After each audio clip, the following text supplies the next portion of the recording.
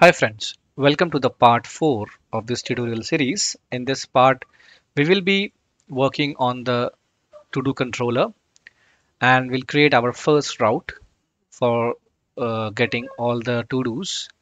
And before that, we will set up the TypeORM. So I have the command here in, the, in my notepad. I'll copy it and go to my terminal and simply paste it. So this will install MySQL TypeORM and the Nest.js TypeORM library. So give it a minute to finish and we'll also set up the TypeORM module in our application so that we can communicate with our backend. So while it's working, in the meantime, let me show you my database. I, I have my MySQL running and I'm using dbeaver to view it and this is my new database by the name of nest.js and as you can see it has got no tables because I don't want to create tables manually. I will be doing it through code. Because I will uh, use the code first approach here. So let me minimize this application here. Okay so all the tools were installed and there are no vulnerabilities. So I can run the uh, dev server npm run uh, I think it should be here. npm run start dev. There we go. Okay so it's compiling the code now and we don't have any errors. Okay. So let's first configure the TypeORM module. So the ideal way uh, to configure this if you go here right? And uh, go to the using orm config.json it says you can create a json file in the project root and type in all the parameters there okay? But i'll keep it simple. I will simply go here in my app module. And here i'll and in the imports array. So, uh, so any module that you have should be a part of the imports array so you put a comma here and type type ORM module comma or dot sorry for root. Because this is my root module. I will use the for root method here. And this is actually asking for options which is of type TypeORM module options. So you can define it directly uh, within the square brackets or curly brackets here. But let's do it in a neat fashion so I'll create a variable here. ORM options of type ORM module options okay? And I'm using I'm defining this type because uh, it will help me uh, it will help my IDE to help me with uh, uh, IntelliSense okay? So the first thing I need is the host. This is my local host next I need my uh, port. Okay that's 3306 for MySQL. And on top I need a type. So type is MySQL. Okay? And it has got a lot of options. If you just hit control space you can see all the options available here. Okay MongoDB MariaDB. I'll choose MySQL.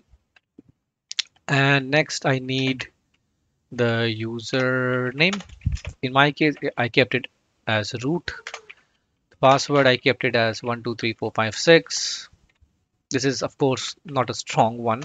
This is just for the tutorial. Do not ever use any weak password uh, in your production deployment okay? We have host port uh, username then what we have database. And my database name as you saw is nest.js so nest.js now I'll use auto load entities to true. So this is again not recommended for the production uh, deployment. Make sure you don't use it for production and I'll auto synchronize it as well okay? Uh, there we go. Now in the options I can simply type ORM options. Okay like that. And this is configured now. If you go back to the terminal you'll see it work there are no errors. Okay perfect. Let's close this module. I'm going to minimize this as well. Let's focus on the to-do controller. So when you create any new controller or any service using the CLI you get some boilerplate code here like like as you can see on the screen. So this is known as a decorator. So it has got some code running in the backend which tells uh, Nest.js that, that this this class is a type of controller okay? And controller has got some functionalities.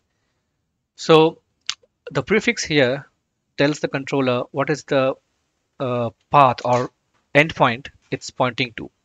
So I can put any name here like ABC so my route will be http localhost 3000 slash abc okay? But to give it a more uh, more a meaningful name I'll put to do's here. Okay? So it will be like to do's. And if you want to put uh, something like API in front of to do's you can also put it here like like this. But if you want to add API globally to your entire project then what you can do you can simply go to your main.ts file. And just after your app module you can simply type app.use global or prefix set global prefix yeah type API and now you don't need to type API here it'll simply work like this. So inside this controller okay so what I can do I can simply use the get decorator. It's again imported from nest.js common package. So this is the http verb okay? So this is the http get verb okay? And just beneath it you need to give a function name so I'll say get all to do's you can name it anything you want but just make sure you give it a meaningful name so that you can identify what this function is doing. And at this moment, I'm simply returning an array of strings. So to do one, then to do two, that's it. Okay. And it's complaining because I'm using double quotes. So let's remove it.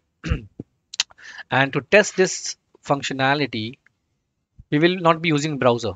So going on going forward we will be using postman. So this is my postman client. And I, will create a new tab here. It's, and you see it's a get request. It's, a, it's the same get verb that we used here. Okay. And if you do not give enter anything here in the path. So this will be the same path as your parent here okay? So this is the default path.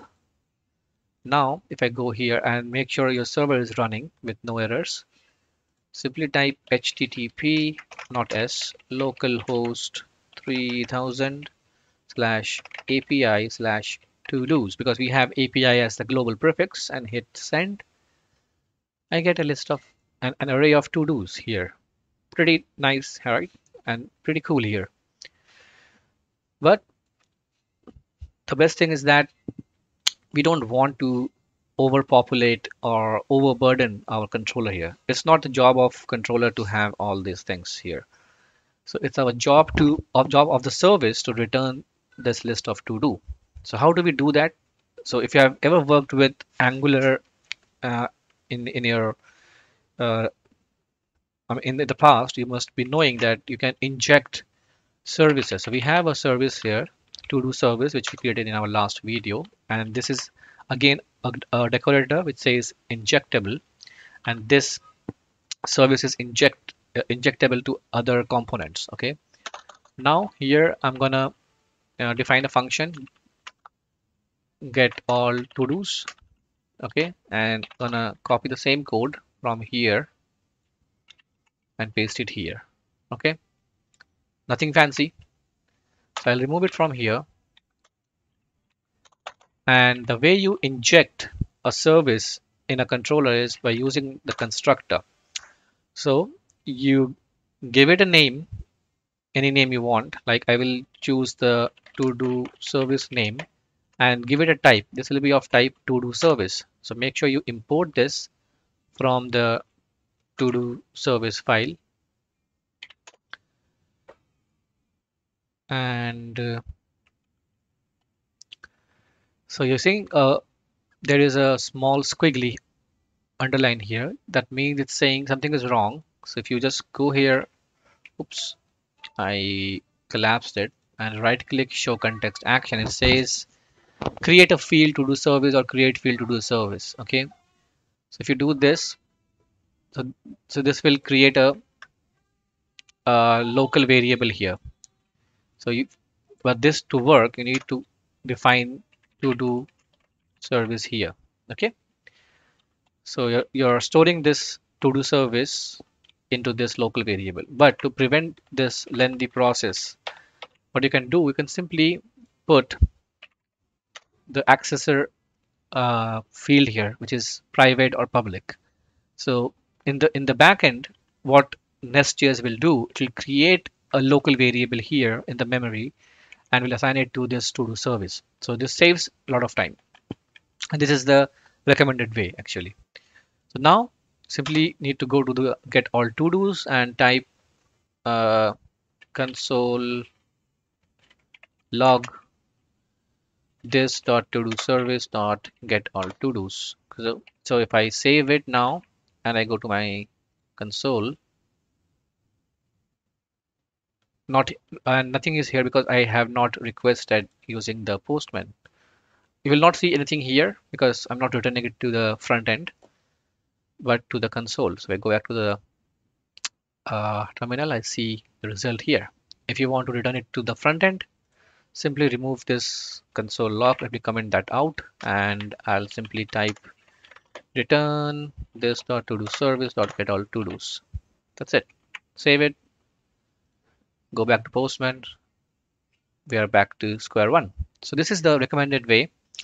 And for in postman i'm gonna save this request. Let's say i'll give it a name get all to dos. In a new collection i'll name it collection uh, to do maker okay? So save to to do maker. So i will have this here handy all the time. So i hope uh, you like this and uh, in the next video we will add some more routes here and uh, we will see some more verbs from http package i believe uh, and we'll see how we can uh, query our database in the backend okay? So please uh, like this video and don't forget to subscribe to my channel. If you have any questions please put those in the comment section below. And you will find the code here till here in the description of this video uh, that will point to my github link. Make sure you go there and fork it or maybe clone it if you want and try it yourself so i'll see you in the next video. Till then take care and stay safe. Bye bye